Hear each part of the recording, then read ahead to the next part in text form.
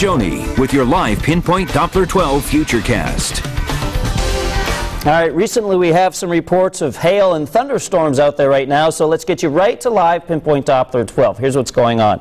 You can see that little bolt of lightning just offshore from Rhode Island, and certainly some more scattered thunderstorms are possible today. Basically, the green represents where there is lighter rain, a lot of that out there in scattered form right now. And the specks of yellow and red, that's where the showers are a bit heavier. And also, also where we have found some hail. You could see this uh, patch of red there in North Attleboro. Had a report of some hail in North Attleboro earlier. And right now, or at least recently, we have received some reports of hail over on the East Bay in places like Barrington. You could see the uh, red dots indicating where some of that hail and some of those heavier downpours are. And mixed in with some of this hail and downpours could be the threat of lightning. It will be off and on today. So there'll be periods where it stops raining and the uh, clouds go away maybe a little bit and you get a little bit of sunshine and then some darker clouds and storms move back in. Just kind of an un unsettled day. You can see the direction of all the showers and storms are from north to south and that will continue for pretty much the rest of the afternoon.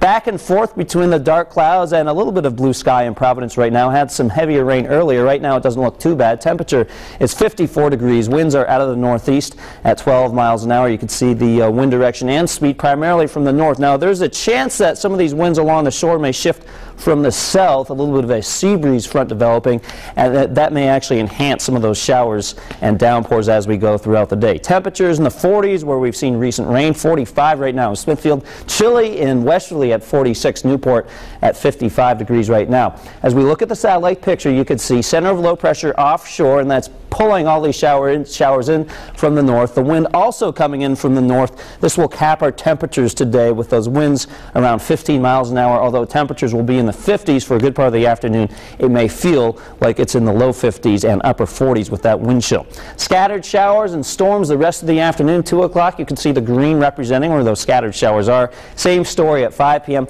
As we go overnight, we turn the threat off of the showers and then into tomorrow morning, that's where the sun starts to come out and we get a really nice end to the work week as we go throughout Friday afternoon. You can see by Friday at 2 o'clock the clouds clear out and we bring in the sunshine.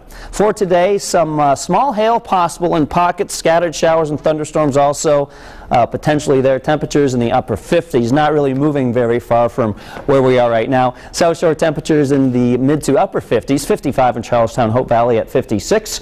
For northern Rhode Island, we're talking about temperatures in the mid 50s as well with some of those scattered showers and the slight chance of a thunderstorm. And same story in eastern Massachusetts with mid 50s and scattered showers. Out on the water, visibility 3 to 5 miles, a uh, nippy wind out of the northeast at 5 to 15 knots.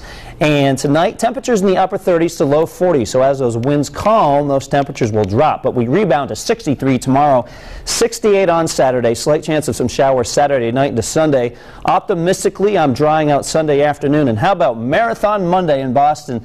I'm forecasting 72 here in Providence. If you're headed to the marathon, if maybe you have the day off, we're looking at upper 60s there. So pretty nice end to the weekend and start of next week. All right, thanks for the update, Pete. Now we want to take a look at what we're working on for Eyewitness News. Beginning live at 5, Cycling for a Cure. A cancer patient's husband embarks on a 3,000